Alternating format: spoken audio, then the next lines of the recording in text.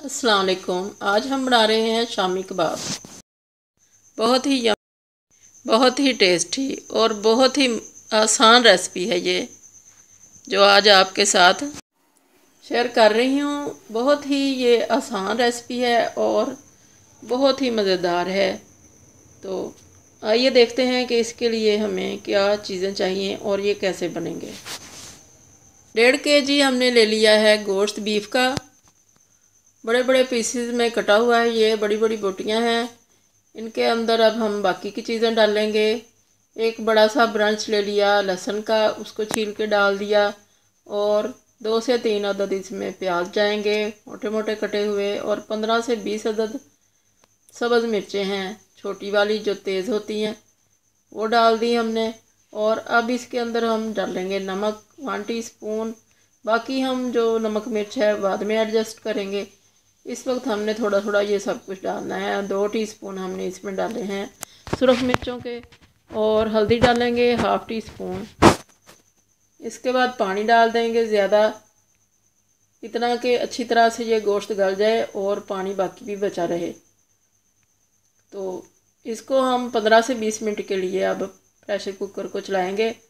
तो हमारा गोश्त बहुत अच्छा सा गल चुका है। अब इसको हमने बाहर निकाल लेना है कुकर में से। किसी और बर्तन में ट्रांसफ़र कर लेना है ताकि इसमें से बोन्स को हम निकाल लें और बाकी जो इसमें पानी बचा हुआ है, इसमें दाल हमने जो एक घंटे से भिगो के रखी हुई है, हाफ़ के जी वो ऐड कर देंगे। और इसको अब हम गलाएँगे, प्रेशर कुकर को, ढक्कन को बंद नहीं करेंगे। वैसे ही हम ढक्कन रखेंगे और इसको बार बार चेक करेंगे। इतना इसको गलाना है कि ये बिल्कुल घुले नहीं, बल्कि खड़ी खड़ी रहे। दाना इसका अलग अलग रहे। अब हमने चार प्याज ले लिए दरमियाने और डेढ़ से दो इंच का टुकड़ा ले लिया। अदरक का सब्ज़ मिर्चें ली, दस से बारह अदद और आठ दस जबे लिए लहसुन के। इनको अच्छी तरह से हमने चॉपर में डाल के तो चॉप कर लिया बारीक सा। इसको अलग से निकाल लिया। और इसी चॉपर में हमने डाल दिया गोश्त। और उसको फ्यू सेकंड्स के लिए चलाया है चॉपर को ताकि वो अच्छा सा थ्रेड्स बन जाए और ज़्यादा बिल्कुल ना घुले। बहुत थोड़ा सा हमने इसको चलाया ताकि ये अच्छे से श्रेड हो जाए। अब इसी के अंदर दाल को ऐड कर दिया, दाल भी गल चुकी है और दाना दाना अलग है, इसको भी हमने दरदरा सा पीस लिया है। सारी चीज़ों को हमने अलग अलग निकाल लिया। अब दाल ठंडी होगी तो फिर इसके अंदर हम सारा कुछ मिक्स करेंगे। और तकरीबन वन कप के करीब हमने सब्ज़ धनिया ले लिया, जो अच्छी तरह से हमने दो के तो स्टेन कर लिया था और चंद पत्ते इसके अंदर डाल लिए पुदीने के, वो भी बारीक काट लिए। अब इसके अंदर मसाले जाएँगे।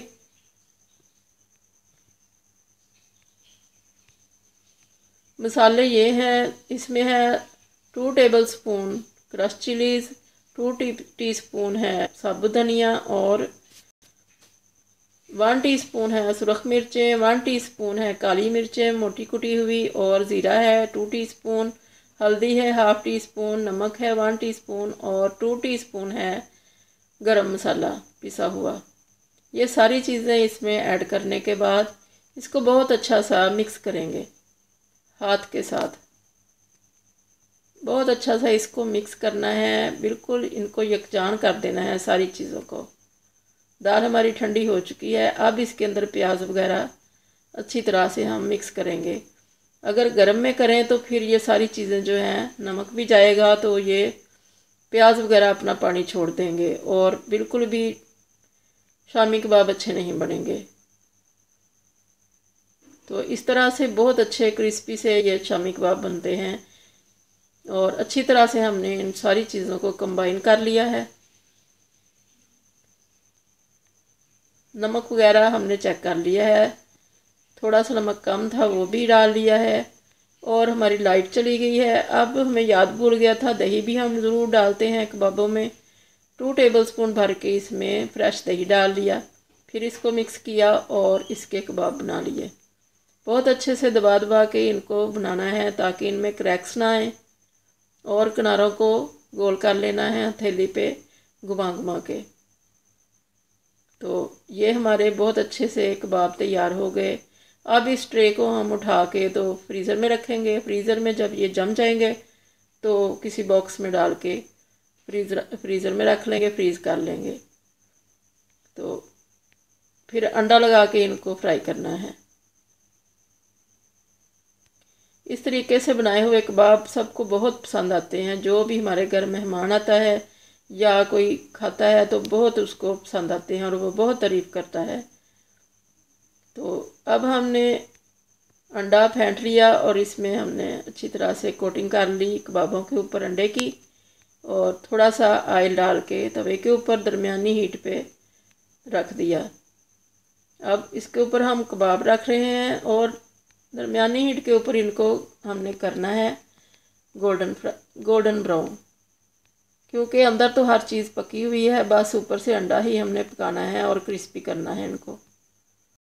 बहुत ही मज़ेदार, बहुत ही टेस्टी ये बने हैं। आप भी इस तरह से बना के देखिएगा, आपको बहुत पसंद आएँगे। अगर गोश्त के अंदर ही हम दाल डाल दें तो बाज़ात वो इतनी नरम हो जाती है कि बाद में उसको खुश करना मुश्किल हो जाता है। तो इस तरह से ही हम हमेशा से इसी तरह से बनाते हैं। इस तरह से गलती नहीं होती कोई। गोश्त क्योंकि ज़्यादा हार्ड होता है और दाल जो है वह जल्दी गल जाती है।